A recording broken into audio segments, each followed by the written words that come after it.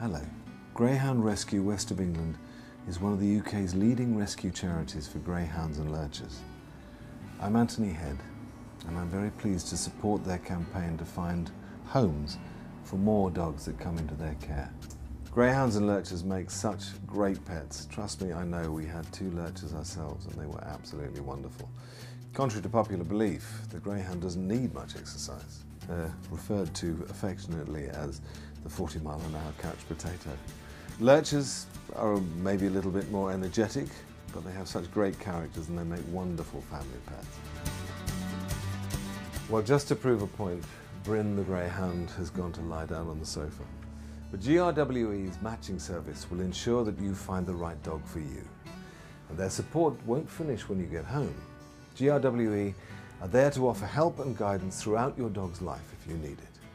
Sadly, the kennel space available for these rescued greyhounds and lurchers is always limited. GRWE operate on a one in, one out basis, which means that they have to find a home for one of their dogs before they can take in another.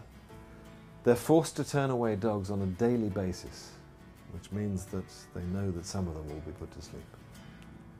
So from me, Anthony Head, and all the helpers and supporters of GRWE, thank you for watching.